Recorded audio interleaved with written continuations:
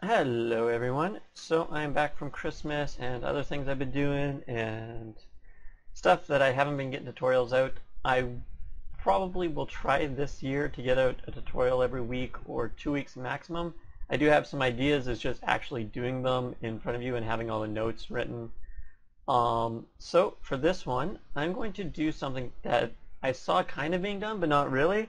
I want to create a low poly rope. Now these ones are difficult because you need the normal maps and the rope looks strange because usually to get a rope you need a really good texture and or lots of polygons just to get it wrapped around itself properly. So for what this one we're going to do is create a high poly rope and then create an easy way to create the low poly rope from that high poly rope, sort of. And then from that we are going to take that high poly rope, low poly rope, bake them together into a nice little uh, normal map and it'll be quick and easy. It won't have the best results just because of the way it works However, no one looks at ropes that closely as long as it has the appearance of being a rope. It looks good enough to a lot of game engines and studios since they're usually on the ground somewhere else. They're just clutter or distractions. If it's much closer rope, then you'll be like Batman and have two years working on a cape or something. Anyway, so first what we're going to do is set up our units. First, I'm just going to use the basic units um, under unit setup. Just use the generic units. I don't need anything special. I'm not using any real world units or anything like that. Next what we're going to do is set up our snapping toggle. So just right click on our snaps toggle and take grid points and vertex. And uh, now all we're going to do is start creating this cross section of rope. So what we're going to do is use the loft modifier to create a cross section of the rope that will allow us to loft it over any surface or any length of rope that we want and then bake it from there. So now we'll just drag it out and we'll set the radius to be 4. And what we'll want to do is make sure that your grid points are set at uh, 10 away from each other. So if you want to go into your grid spacing, just right click on your snaps toggle, go under your home grid, and grid spacing should be 10. Now what we're going to do is go affect pivot only and pull the affect pivot, or the pivot right back into the center and rotate this 45 degrees. And now we're going to rotate it. I don't think that's 4 exactly. Oh, it is. So hmm, let me see something. We'll drop that down to 3.75 it shouldn't touch each other. The reason I'm doing this is, as you can see, when I rotate it, that used to overlap each other. You shouldn't want it overlapping. You want just barely missing each other. So 3.75 will be the radius, and then we will copy it around the section eight times. This gives us a nice little cross section of rope. So what we're going to do now, nine shapes selected, that's because there's two here. I, you should only copy it seven times around because the eighth one's right there. Now what we're going to do is convert this one to an editable poly, or editable spline, sorry, editable spline and attach the rest of these. So just click on them quickly to attach them. And now we have the cross section of our rope. So what we're going to do is rename this rope cross section. And we're just going to move that out to the side. Next what we're going to do is create the actual length of rope that we want to create. So what we're going to do is just quickly go and under splines, uh, lines, under splines, under line, and click and drag out our length of rope. Now, you can get this really, really complicated and it really doesn't change any of the fact. Sure, if you have it overlapping like this, you'll have to maybe pull it up or sometimes the normal map will get baked. Doesn't really matter too much. People won't look that closely at it. So now we're just going around here and I'm just going to finish off right about here with a nice little like loop thingy. I'll backspace that last one because I don't like it. There we go. And that is our rope, or line 01. So next what we want to do is loft this over top of this. You see this looks a bit big for the rope length that we're going for, so don't worry about that. We can scale it down and we'll be able to play around with it there. So now we'll go under our Create, Compound Objects. Make sure that our line is selected. Our line is selected because what we're going to do is hit Loft and then go Get Shape. If your shape was selected, you have to get the line and it'll look all weird. So make sure your line is selected, then go Get Shape, click on the shape we made, and there you go. It's kind of over top of it. But as you notice, and as I said already, it's way too big for the uh, line, and we can easily fix that. So under here, what we're going to do is go under our deformations, and we're going to open up our skin parameters as well. But first we're going to deformations, and we will want to do is scale it down a bit. So we'll click on scale, select both of these. This is at the beginning of your path, and this is at the end of your path. So you can make it scale smaller at the end of your path compared to the beginning, or anything like that. However, we want both of the scales to be the exact same. We just want a uniform scale across it down to about 50% of its original width. No, even more. 35% of its original width. Something like that. And as you see, there's some clipping in there. If you really want to, we can fix it by going under loft or path and then just selecting this one right here under path. And I don't doesn't let me select because it's being lame and weird. Sometimes it does it's not being very nice. There we go. We want this line to show up here. Go under vertex and now we can play around with some of the settings. So we can just pull this vertex out of there or in there. Uh, I'm going to try to select the vertices. It should be around here somewhere. It is. There it is. That is that one. This one goes in about there, about there. This one here, there we go. We'll just pull it in to here, rotate a bit, and there's one right here that we can pull out. So there we go. We just fixed up a bit, made it a bit easier for us to work with. And there it doesn't have any clipping, as many clipping errors. So we got the rope. It still doesn't look like rope. That's okay because we've forgotten the most, well, not forgotten, we haven't done the most important part, and it's this twist. So click on the twist, click this last one, and we twist it about 5,000. As you can see, the twist looks a bit awkward. Don't worry about that. We just go to our path shapes, our steps, and pop that up to 50. And it still doesn't look any good, so we'll pop it up to 100. And I kind of like that. That looks a bit more rope-like. However, I want to up the twist to about 7500 now. And now it's a more twisted rope. So that is the high poly rope. And that's really all that is, how to create the high poly rope. You twist it, you scale it, you kind of tweak some things. Make sure your rope looks good. It doesn't have to look like mine just because I pulled out my spline randomly. And next what I'm going to do is I am going to readjust my headphones because they're hurting my head. And I'm going to rename this to High Poly Rope. Now what we can do is we can right click on this, convert to editable poly, and that is completely done. Now that's an editable poly, and what I'm going to show you is how many, later I'm going to show how many polygons we just destroy by uh, getting rid of it. Well, not getting rid of it. Next what we're going to do is create our low poly rope. Since we want the rope to be the exact same area and location, area and location, want the rope to be exact same like width and everything of it. We'll just go under a rendering and interpolation of this. We notice that these were 10 across from each other. This was 10, this was 10 away from the home grid, so the radius should be around 10. So what we'll do is enable in viewport and render. Make sure line 001 is selected. This is the line we created the loft from. However, the line itself, since we created the loft is now editable poly, any of that uh, stuff is gone that we needed. Any of that inheritance, I guess, is gone. So what we're going to do is make our thickness to be about 10. As you see, it's a bit outside, a bit inside of it. And we might want to increase that to 11. Or we might want to decrease that to 9. However, I think 9 would work, or 9.5 would work pretty well. So there we go. We'll have about 9.5. And that's the reason I set them 10 away. So I know a very good ballpark place for my uh, for my high poly rope, or low poly rope. Now as you can see, this is our low poly rope. There's pretty good on the polygon count, nothing too spectacular, nothing too crazy. Um, you can drop it down. What I usually like doing is dropping down my radial thickness down to about 8 or 6. Um, this cuts out a lot of polygons, just halves the number of polygons just by making the rope more square. It doesn't really matter, the bump map will take care of a lot of it for us. I will like leaving this at 8 instead of 12.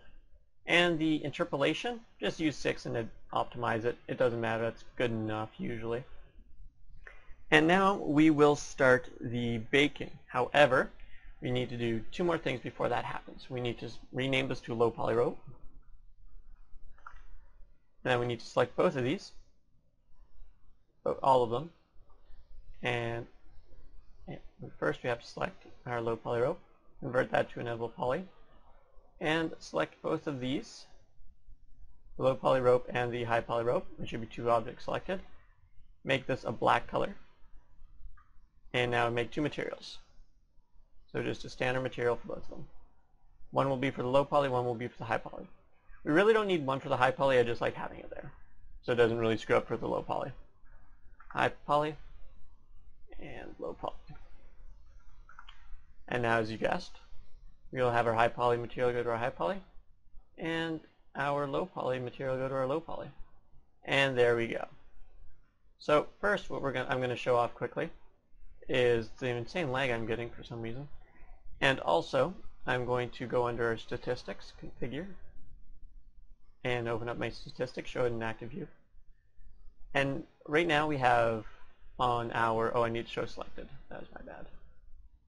And under statistics, total and selection apply. See, our low poly rope is a thousand polygons, pretty standard for a low poly rope. Our high poly rope is going to be 400,000. We're literally dropping 400,000 polygons and getting a pretty similar look. Not near as good. I mean, you will never do that because high poly is much better than low poly no matter what you do. But it'll still look pretty good. So next what we're going to do is press 0 to open our render to texture dialog box. And from this window what we're going to do is unwrap the rope because rope is very difficult to unwrap by hand and it's tedious and no one likes doing it. So we'll use it to unwrap it automatically and then we will also use it to bake. So first to unwrapping we'll make sure our low poly rope is selected and we'll use automatic unwrap, unwrap and drop that in channel 1.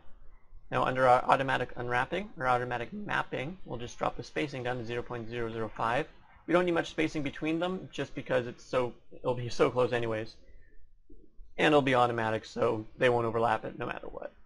So we'll just make sure that's all good. Those are two things. And we're just going to click Unwrap Only. This will automatically flatten the UVs and you can see the UVs in your Open UV editor. And there they are. They're all nicely unwrapped for us. So from now on, we're just going to close that out. That's good. That's perfect we are going to use the existing channel that we unwrapped, which is channel 1. You can check it here where it says map channel channel 1. And it, there's usually, if you're using existing channel, it will only show the channels that already exist, right? So 1 exists. It's the only one that does exist right now. So next what we're going to do is we're going to turn on our projection mapping. So under projection mapping, we're going to enable it. And we're going to pick our high poly. And we'll just pick high poly rope. Now this will take a while. It has to create a cage for it. It has to see the tangents and everything. And there we go. There's a cage. You can see it around it. And it envelopes everything quite nicely, actually. So there we go. Next, what we're going to do is we're going to go under our options. And under these options, what we want to do is change our normal map space to world.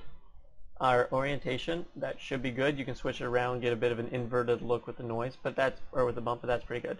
Our height map, since we are pretty close within the 1 inch radius that I set, I'm going to set the min height and max height to 2.5. This says 2 point, will look 2.5 inches above our above our uh, low poly rope and 2.5 inches below the low poly rope, and we'll get the bump map from that cage itself. Um, since I made sure it was within the 1 inch radius, 2.5 gives us lots of leeway just in case. Uh, we'll use the same ray trace cage method. Ray trace just sends a ray out from your tangent. Um, and then it says, okay, did I hit anything? No. And when it does, it'll send something back. And it uses a cage which was automatically created for us. So the rest here is pretty good. We'll close that out.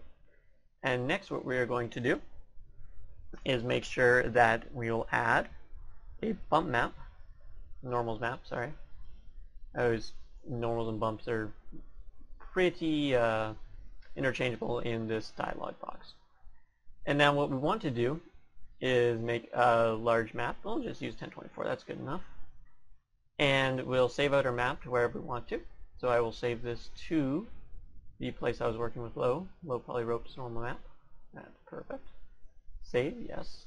Okay. Um, so we'll save that into there. And what we want to do is since we created a material already for low poly, so we can just quickly go back to it and see how it looks by changing uh, little parameters if we need to, we can just output it into the source map that we already created. And this will automatically put it into the bump slot. Bump slot. Man, I'm talking fast. Uh, apologies. This will automatically put it into the bump slot because we set the target map slot to be bumped up in this area right here. Um, so from there on, this should be easy enough to render out, and we will see what happens. So press render. You'll overwrite the file just because mine was already there. And as you can see, the material and the uh, other object is showing up on how it will look on our object, or material. So now what we'll go do is select the high poly rope and hide it so we can easily render this out. Go under my material editor, and right here you can see the low poly map, the normal map, is right in here. It's nicely set up, and it will show up on here. Next what we'll do is go under diffuse color and select a dark brown color, kind of like a rope color. So something like that. So if you want to copy that's 73 red, 44 green, and 21 blue. And we'll press OK. Next what we're going to do is, I usually find their bump maps to be kind of subtle, a bit too subtle, especially for low poly stuff, so I bump this up to about 50 or 100. And now what we're going to do is press F9 and hope it looks perfect. And there you go. Doesn't look the best, it doesn't look the worst though, but I mean, you're far away from it. It looks like a rope. And we'll have to a bit closer than that. And what we need to do is actually bump up the bump map a bit more to about 100. There we go. Now it looks more like a rope. That might be a bit too much. 75. This one you always just have to play around with. Usually you'll never use this render in anything, this low poly render.